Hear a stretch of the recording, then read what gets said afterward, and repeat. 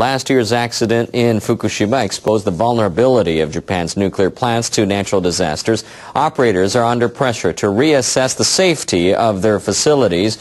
One utility is checking what lies beneath a plant on the Sea of Japan coast, trying to figure out if a fault running below a reactor could trigger an earthquake.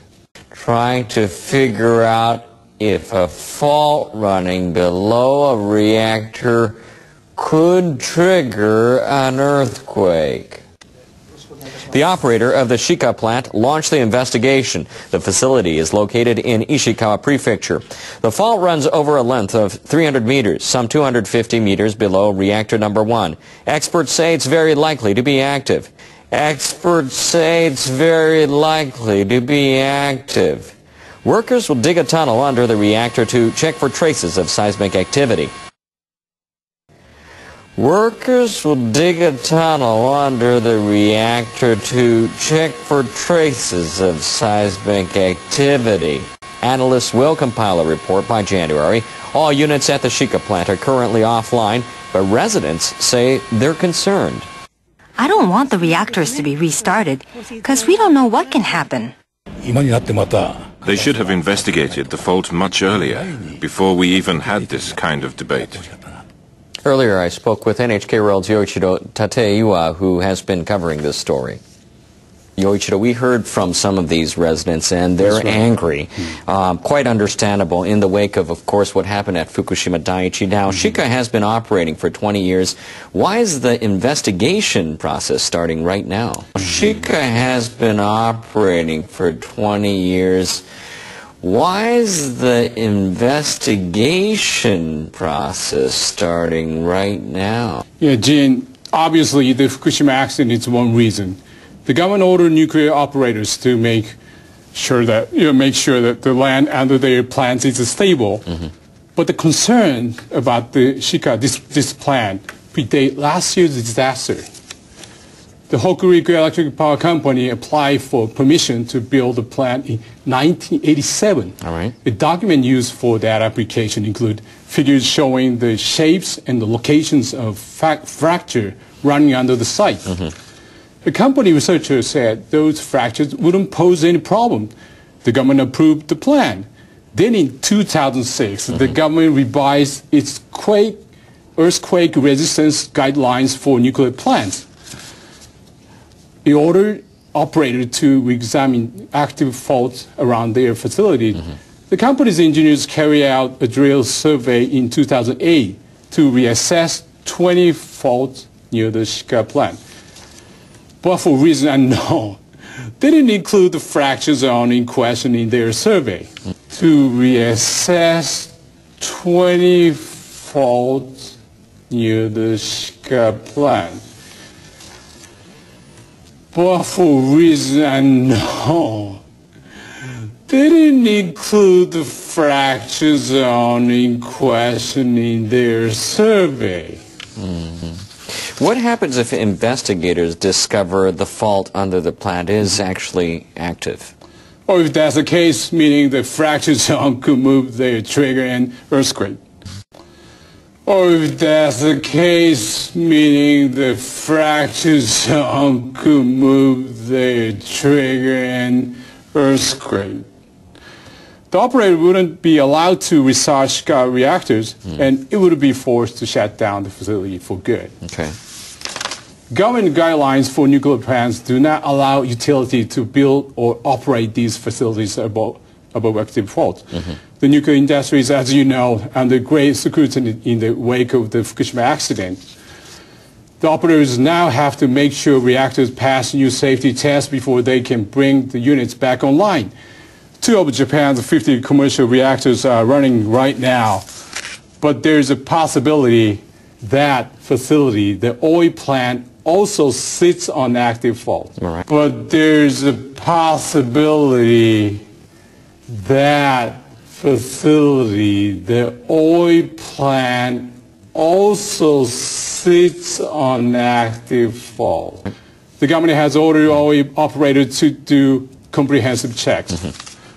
But the government panel that investigated the Fukushima accident mm -hmm. pointed out in their report this week that Japan is prone to natural disaster, and the government and the operators need to change their attitude toward disaster preparedness.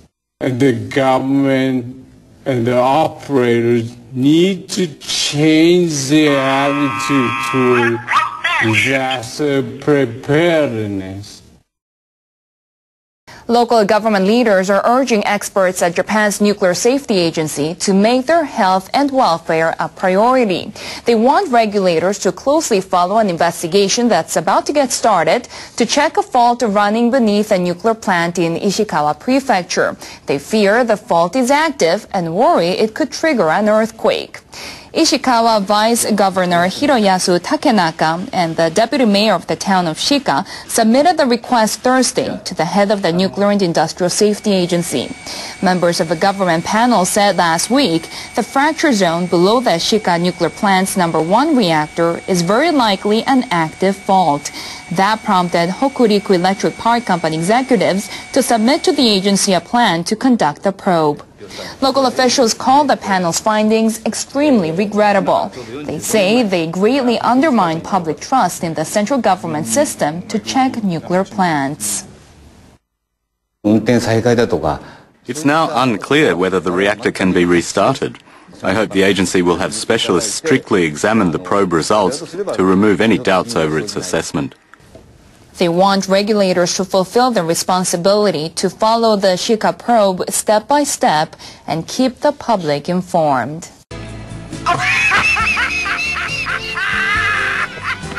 What's so funny now? I sometimes just think funny things. Last year's accident at Fukushima Daiichi focused the world's attention on Japan's nuclear network. Scientists from the International Atomic Energy Agency wrote a detailed report on what went wrong at the facility. Now they're turning their attention to another nuclear plant in the country's northeast.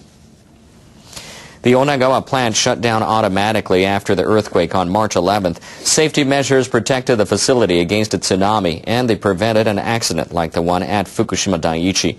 IAEA members and other foreign experts will visit the plant on Monday.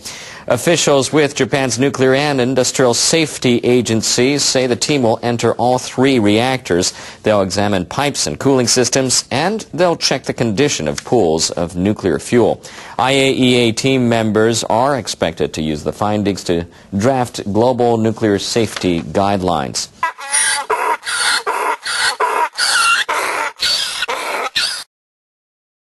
Prosecutors in Japan have decided to accept criminal complaints over the nuclear accident. Local residents filed the complaints last month against the central government and the plant's operator. About 1,300 people asked the prosecutors in Fukushima Prefecture to investigate top officials in the government and Tokyo Electric Power Company. The plaintiffs accused the officials of professional negligence. Other groups have filed similar complaints in Tokyo and elsewhere. Sources say the prosecutors made the decision after a government-appointed panel of experts released on Monday its final report on the accident. The prosecutors have to identify the cause of the accident if they decide to file charges. The government panel and three other committees that conducted probes have failed to pinpoint the cause. Medical experts say it would be hard to prove that radioactive materials from the damaged plant inflicted physical harm on residents of Fukushima or elsewhere in Japan.